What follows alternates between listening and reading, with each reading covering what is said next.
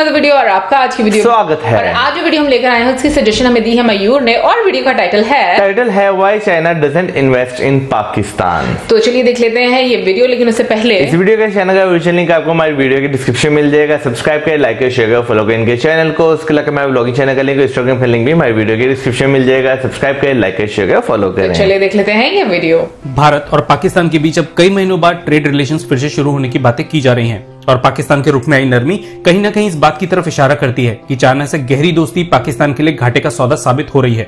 और शायद पाकिस्तान गवर्नमेंट इस बात को समझ चुकी है कि चाइना के रहते पाकिस्तान के ट्रेड रिलेशंस बाकी और देशों से कभी भी अच्छे नहीं हो सकते।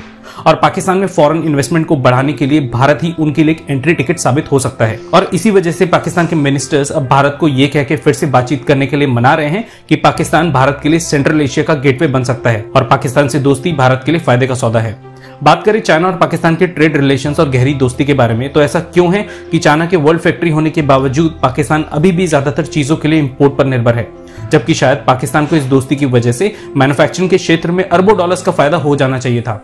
ऐसा क्यों है कि पाकिस्तान की रेलवे की हालत अभी भी खराब है? पाकिस्तान में अभी भी पावर डिस्ट्रीब्यूशन इक्विपमेंट चाइना से ही मंगवाए जाते हैं। इस देश में ऑटोमोबाइल सेक्टर में मैन्युफैक्चरिंग ना के बराबर है। टेक्सटाइल के क्षेत्र में पाकिस्तान को अभी भी केवल रॉ मटेरियल के लिए ही जाना जाता है। इलेक्ट्रॉनिक्स की मैन्युफैक्चरिंग अभी भी ना के बराबर है। अभी तक पाकिस्तान में सैटेलाइट्स की मैन्युफैक्चरिंग टेक्नोलॉजी नहीं है और आज भी एजुकेशन के मामले में पाकिस्तान कहीं पीछे है। इतने सालों की गहरी दोस्ती के बाद भी पाकिस्तान का इंफ्रास्ट्रक्चर लगभग वैसा ही है जैसा की एक दशक पहले था।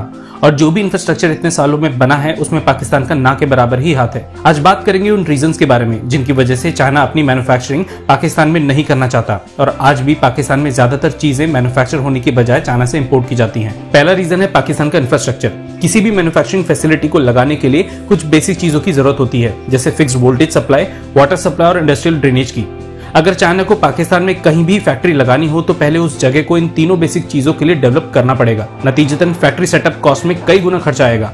यूजुअली किसी और देश में ये तीनों चीज़ें आसानी से मुहैया हो जाती हैं। पर पाकिस्तान के बिजली और पानी के विभागों में इतना करप्शन है कि इन बेसिक सी चीज़ों के लिए किसी भी इंडस्ट्रियलिस्ट को बहुत परेशानी आती है। दूसरा रीजन जिसकी वजह से चाइना पाकिस्तान में मैन्युफैक्चरिंग करने से कतराता है, वो है स्किल्ड लेबर्स पाकिस्तान की लेबर कॉस्ट आज भी काफ़ी कम है, लेकिन लेबर स्किल्स की कमी आज भी पाकिस्तान को मैन्युफैक्चरिंग के मामले में काफ़ी पीछे धकेले हुए है। और यही वजह है कि लोगों को किसी काम के लिए ट्रेन करना पाकिस्तान में इम्पोर्ट करने से ज़्यादा मुश्किल है। तीसरा रीजन है चाइना का सेल्फ इंटरेस्ट चाइना शुरू से ही किसी भी देश को मैन्युफैक्चरिंग के मामले में आगे बढ़ने नहीं देना चाहता, और इसलिए मैन्युफैक्चरिंग के नाम पे चाइना किसी भी दूसरे देश में केवल असेंबली ही करता है। और बेसिक कंपोनेंट्स और पार्ट्स की मैन्युफैक्चरिंग अपने ही देश में रखता है। भारत में इन्वेस्ट कर रही सभी चाइनीज़ कंपनीज़ भी इसी प्रिंसिपल पे चलती हैं। और इसीलिए मोबाइल फ़ोन की पेलाई स्कीम में किसी भी चाइनीज़ कंपनी ने पार्टिसिपेट नहीं किया। क्योंकि इस पेलाई स्कीम में भाग लेने का मतलब होता है पार्ट्स और कॉम्पोनेट्स को भारत में मैन्युफैक्चर करना, जिसके लिए चाइनीज़ कंपनीज़ कभी भी तैयार नहीं होती। पाकिस्तान में भी चाइना मैन्युफैक्चरिंग के नाम पे केवल मोबाइल फोन्स की असेंबली ही करता है, क्योंकि चाइनीज़ कंपनी अपने कंपटीशन में पाकिस्तान को खड़ा नहीं करना चाहती। चौथा पॉइंट है जोग्राफिकल रीजन ये बात सही है कि पाकिस्तान एशिया में ऐसी जगह है जिसके बॉर्डर्स या तो भारत जैसे बड़े मार्केट से लगते हैं, या फिर ऐसे कई देशों से जहाँ चाइना से सामान पहुंचाना बहुत महँगा पड़ता है, जैसे अफ़गानिस्तान, ईरान और तुर्कमेनिस्तान।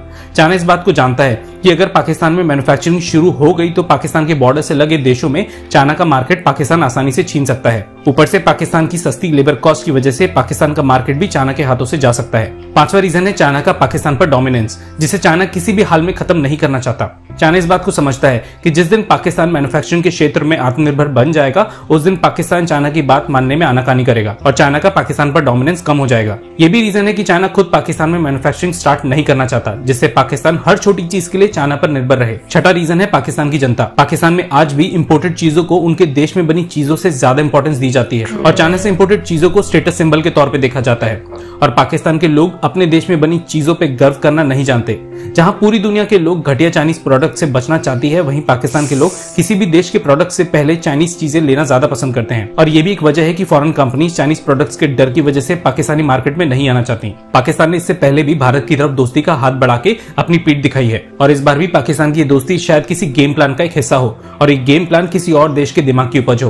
और अगर ऐसा है तो इस बार भी पाकिस्तान को एक झूठी दोस्ती महँगी पड़ सकती है और शायद पिछली सभी बार से कहीं ज़्यादा महँगी। इसलिए हमने सोचा कि क्यों ना पाकिस्तानियों की आँखें खोली जाए और उन्हें सच्चाई दिखाई जाए। कि पाकिस्तान की इकोनॉमी का असली दुश्मन कौन है और पाकिस्तान के लिए क्यों ज़रूरी है अपने पैसे को सही जगह इन्वेस्ट करना।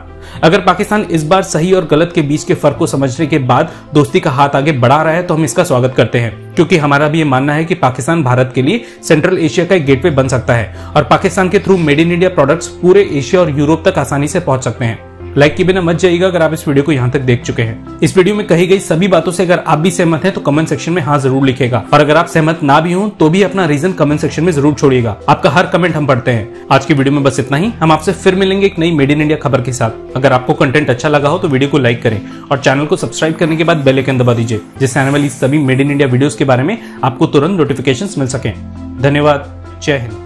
बात करें अगर आज इस वीडियो की तो नो डाउट आपके मुल्क में इन्वेस्टमेंट होना मैन्युफैक्चरिंग प्लांट होना बहुत ज़्यादा ज़रूरी है आज के समय में। और हम लोग अक्सर अपनी वीडियोस में ये सारे पॉइंट्स डिस्कस कर चुके हैं कि पाकिस्तानियों की क्या क्या प्रॉब्लम है यहाँ पर किस तरीके से मैन्युफैक्चरिंग के लिए कोई प्लांट ही नहीं लगाए जाते ना ही लोकल जो हम कहेंगे कि इंडस्ट्रीज़ हैं जो छोटी छोटी पहले इंडस्ट्रीज़ यहाँ पर हुआ करती थी अब वो सारी कैसे खत्म हो गई हैं कोई उनको फैसिलिटीज़ नहीं दी जाती। अच्छा यहाँ पर मैं एक बात बोलना चाहूँगी कि पहले ये होता था कि जब हम लोग छोटे थे एक चीज़ मैं ये बताना चाहती हूँ कि जो कपड़ा वगैरह बनता था पाकिस्तान में और उसके अलावा कुछ ऐसी चीज़ें इलेक्ट्रॉनिक की बनती थी चीज़ें जो कि पाकिस्तान की ज़्यादा अच्छी और मतलब मयारी समझी जाती थी और लोग तब वो इस्तेमाल भी करते थे। बट अभी एक ऐसी वेव आई है इस जनरेशन में या हम कहेंगे कि इस तरीके से इनको ट्रेन कर दिया गया है कि एक वाकई में स्टेटस सिंबल कह लें और मैं कहूँगी कि फेक स्टेटस आपके बना लिए कि आपको जो भी चीज़ें इस्तेमाल करनी है वो सब आपकी इंपोर्टेड चीज़ें होनी चाहिए। असल में ये अभी से नहीं एक बड़े लंबे अरसे से चीज़ चलती आ रही क्योंकि अगर हम बचपन में बात करें तो हम नो डाउट देखेंगे ऐसी ऐसी फैक्ट्रियाँ छोटी छोटी जो घरों में बनी हुई हैं और लोग जो है उन्हें चला रहे थे लेकिन उन फैक्ट्रीज को गवर्नमेंट को बूम देना चाहिए था बूस्ट करना चाहिए था कि जिनकी पहले से हैं वो अपने कुछ बड़े प्लांट्स लगाएँ जो नई इन्वेस्टमेंट करना चाह रहे हैं वो जो हैं करें अपनी इन्वेस्टमेंट करें अपने छोटे छोटे कारोबार करें लेकिन गवर्नमेंट ने क्या किया कि पॉलिसी इस तरह की बनाई कि जो कारोबार थे वो भाग गए। कोई किसी मुल्क ट्रांसफ़र हो गया कोई किसी मुल्क ट्रांसफ़र हो गया क्योंकि कई ऐसी गवर्नमेंट्स हैं जिनमें सुनने को हमें मिला है कि बहुत सारी ऐसी टेक्सटाइल की इंडस्ट्रीज़ जो पाकिस्तान से उठ के बांग्लादेश चली गई थी। वैसे मैं ये बात बोलूँगी कि ना स्पेशली अगर पाकिस्तान की जो छोटी छोटी इंडस्ट्रीज़ हैं मैं कहूँगी कि उनको तबाह कर दिया गया ऐसी बिल्कुल। पॉलिसीज़ बनाई गई क्योंकि बहुत सारे लोग बेरोजगार है। ऐसे ऐसे शहर थे स्पेशली अगर हम गुजरावाला की बात करें छोटी छोटी इंडस्ट्रीज़ तकरीबन हर घर में वहाँ पर मौजूद थी लेकिन हम्म। आज के टाइम में आपको नहीं नज़र आएँगी। उसकी रीजन क्या है? उसकी रीजन यही है कि आपके लीडर्स का वो विजन है ही नहीं कि अपने लोगों को किस तरीके से कंपनसेट करना है या उनको किस तरीके से एक स्किल्ड लेबर की तरफ़ लेकर आना है। ए, ये भी आपकी बात सही है। दूसरा कोई प्रॉपर प्लानिंग नहीं है। अगर मैं बात करूँ पहले क्या होता था कि गुजरावाला की बात करें लोग जो हैं गुजरावाला जाते थे जो अ, क्योंकि वो जो है एक इंडस्ट्रियल एरिया है वहाँ पे आपके अगर टाइल्स की बात करें वॉशरूम आइटम्स हाँ करें। बात करें तो वहाँ पर वो काफ़ी ज़्यादा बनती हैं। लेकिन अब अगर ऑन दी अदर साइड देखा जाए तो चाइना का क्योंकि काफ़ी ज़्यादा ट्रेंड वो लोगों के सर पे है कि भाई सस्ती चीज़ है तो अब लाहौर से जो इंपोर्ट अगर आती है वो दूसरे शहरों में जाती है। लोकल चीज़ों को लोग इतना पूछते नहीं है। फिर उसके बाद मैं बात करना चाहूँगा यहाँ पे कपड़े की बात करना चाहूँगा। फैसलाबाद जो है वो जो है टेक्सटाइल के हवाले से बहुत ज़्यादा फ़ेमस है। पहले क्या होता था लोग फैसलाबाद से कपड़ा लेने जाते थे। अब फैसलाबादी लोग लाहौर से कपड़ा लेने आते हैं। तो बहुत ज़्यादा जो है पॉलिसीज़ को जो है वो चेंज करना पड़ेगा गवर्नमेंट को। अभी हम जब मार्केट जाते हैं तो हम कपड़ा पूछते हैं कहाँ से है?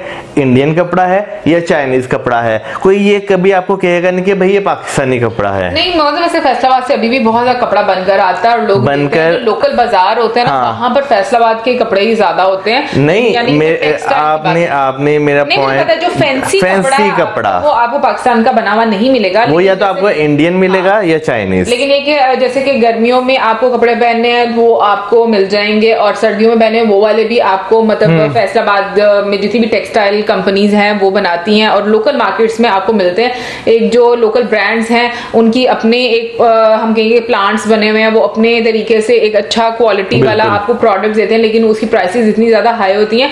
लेकिन यहाँ पर मैं ये बात करना चाहूँगी कि चाइना की जिस तरीके से बीच में बात की गई। अगर ये चीज़ बाकी लोगों को समझ में आती है तो क्या जो लीडरशिप है उसको समझ में नहीं आती? जो कि इतनी मैं कहूँगी कि बाकी दुनिया भी घूम कर आए होते हैं और उनको पता होता है कि लोगों की क्या सोच है या किस तरीके से इंटरनेशनली जो मैटर्स हैं वो चलते हैं। उनको ये नहीं पता कि चाइना अगर इस तरीके से इस स्ट्रैटेजी से चल रहा है कि वो हर चीज़ में अपना फ़ायदा देख रहा है तो हम हम्म। लोग अपना फ़ायदा क्यों नहीं देख रहे? हम लोग अपने लोगों को फ़ायदा क्यों नहीं पहुँचा रहे? मैं तो समटाइम्स अपने दोस्तों से भी और कभी कभी इनसे भी बात करता हूँ कि पाकिस्तान जो है वो एक ऐसी जगह पर है कि अगर यहाँ पे टूरिज़्म को बूस्ट किया जाए और जो है जो रास्ते हैं डिफरेंट कंट्रीज़ के लिए खोल दिए जाए जैसे इंडिया का रास्ता जो है वो अफ़गानिस्तान के लिए और ईरान के लिए क्योंकि बाई रेल तो कनेक्ट है ना हम्म। खोल दिया जाए यूरोप तक मार्केट को जो है अप्रोच दी जाए तो पाकिस्तान इससे भी बहुत ज़्यादा कमा सकता है लाजमी बात है अगर ट्रांसपोर्ट होगी टूरिज़्म होगा तो पैसा ही आएगा ना अच्छा पता है क्या मुझे ऐसा लगता है कि हमारे लोगों को ना बहुत सारी चीज़ों से अभी अवेयर करवाना ज़रूरी है हम्म। उनको एजुकेट करना ज़रूरी है। सबसे बड़ी प्रॉब्लम ये है कि यहाँ पर कोई भी चेंज आता है लोग इजीली उसको मतलब डाइजेस्ट नहीं करते एडजस्ट नहीं हो पाते उसके साथ। और दूसरी चीज़ ये कि अभी लोग जो है वो किस चीज़ में पड़े हुए हैं? खाने पीने में बिजली के बिल देने में पानी में पेट्रोल की प्राइसेस बढ़ गई हैं। मतलब इन्हीं चीज़ों में वो पड़े हुए हैं कि उनको किसी और चीज़ की होश नहीं है कि और भी मामला हैं। अगर हम अपने आप को अवेयर करेंगे उनसे या हम एजुकेट करेंगे अपने आप को तो हमारी आने वाली नस्ल जो वो सुधर जाएँगे। बेसिकली लोगों में ये चीज़ नहीं पाई जाती बेसिकली मैं यहाँ पे ये बात कहना चाहूँगा कि लोगों को अवेयरनेस है लेकिन लोगों में यूनिटी नहीं है। नहीं पता मैंने ये चीज़ नोट की कि हम लोग की जब ऐसे डिस्कशन होती हैं और हम लोग किसी से बात करते हैं ना तो उनका क्या होता है उनका हमेशा जो अप्रोच होती है वो काफ़ी डिफेंसिव अप्रोच होती है। वो चीज़ों को कभी भी उस तरीके से अंडरस्टैंड करने की कोशिश ही नहीं करते। मतलब वो होता ना मिट्टी पाओ मिट्टी पाओ हम्म। इस तरह वाला उनका एक मैं कहूँगी एक्चुअली होता है। एक्चुअली पता क्या लोगों को पता सब कुछ है। हाँ। लोग सब कुछ जानते हैं क्या हो रहा है किस तरह हो रहा है क्यों हो रहा है। लेकिन फिर वही बात आ जाती है कि जब इकट्ठे निकलने की बात आती है ना महँगाई के खिलाफ या अपने हक के लिए तो वहाँ पे लोगों में यूनिटी नहीं है। वहाँ पे लोग जो है ना, वो कहते हैं, ठीक है, या करता रहे। लेकिन अगर बात करें कुछ फजूल चीज़ों के लिए, वहाँ पे लोगों में बहुत यूनिटी है। में आती है कि वाकई में जो एक्चुअल मुद्दा उसके लिए कभी कोई बाहर यहाँ पर नहीं निकला ठीक है लाइनों में लगे रहेंगे और उनको ये नहीं पता कि हमारी बेसिक जो नीड्स हैं उनको पूरी करने के लिए या हमें जो फैसिलिटीज़ चाहिए एक अच्छे लाइफस्टाइल के लिए उसके लिए हमें बाहर निकलना है। लेकिन बाकी एक्टिविटीज़ के लिए पता नहीं उनके पास इतना टाइम कहाँ से फिर लोग कहते हैं कि गवर्नमेंट है गवर्नमेंट कुछ करती नहीं है। फिर मेरा वहाँ पे ये सवाल होता है जब आप लोग अपने हक के लिए खुद नहीं खड़े होते आपको अपना हक खुद नहीं मांगना था तो गवर्नमेंट ने कहना भाई सोए में सोए रहे तो हमें क्या ज़रूरत है जगाने की? हमारे फ्रेंड्स ये भी बोलते हैं कि आप लोग लोगों को बताया करें तो हम लोग जितना हो सकता है हम लोगों को समझाने की कोशिश करते हैं जो हमारे मतलब जिनके साथ हम बातचीत करते हैं। हाँ। हम कोशिश करते हैं कि हम उनकी सोच चेंज करें क्योंकि ऐसे ही है जब आप एक इंसान से दूसरे इंसान के साथ बात करते हैं तो कोई ना कोई पॉइंट आपको मे भी समझ में आ जाए और आप इस तरह सोचना शुरू हो जाते हैं। लेकिन ओवरऑल अगर देखा जाए तो चाइना कभी भी मुझे नहीं लगता कि वो पाकिस्तान के लिए अच्छा है या पाकिस्तान का वो दोस्त है क्योंकि वो हमेशा अपना फ़ायदा देखता है और वो अपने बराबर कभी भी किसी को नहीं बिल्कुल सही बात देखें अगर वो पाकिस्तान में जो है अगर इंफ्रास्ट्रक्चर जो रोड्स बना रहा है सी पैक जो बना रहा है उसमें भी देखा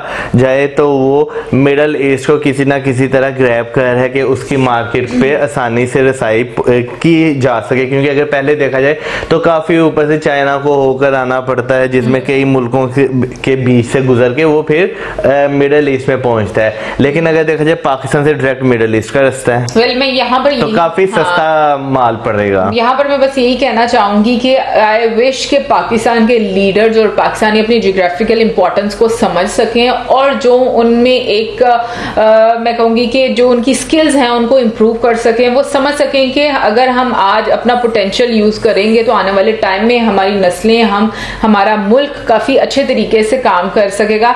आई होप कि ये चीज़ें लोगों को समझ में आ जाए क्योंकि ये समझना बहुत ज़रूरी है और जब तक लोग इन चीज़ों को नहीं अंडरस्टैंड करेंगे। मुझे नहीं लगता कि हमारे मुल्क जो है वो किसी भी साइड पर यानी कि हम कहेंगे कोई पॉजिटिव अप्रोच कोई हो सकेगी। और जहाँ तक इंडिया और पाकिस्तान की बात है तो डेफिनेटली मैं तो यही चाहती हूँ कि इंडिया और पाकिस्तान की दोस्ती होनी चाहिए। अभी जैसे वीडियो में बोला भी गया कि मौजम के अभी पाकिस्तान का पता नहीं क्या मोटिव है कि वो क्यों दोस्ती करना चाहता है। लेकिन मैं ये बात सोचती हूँ कि अगर उनका ये मोटिव है कि उनके अगर लाइक फ्लेक्सिबल होने की वजह से उनके लोगों को फ़ायदा हो रहा और ये हमेशा इसी तरीके से रहना चाहिए तो मैं कहूँगी ये बहुत ही पॉजिटिव अप्रोच है, बात है। कि ये अप्रोच होनी चाहिए कि आपको अपने लोगों का सोचना बाकी मुल्कों को छोड़े आप आप अपने नेबर्स के साथ अच्छे तरीके से रहे।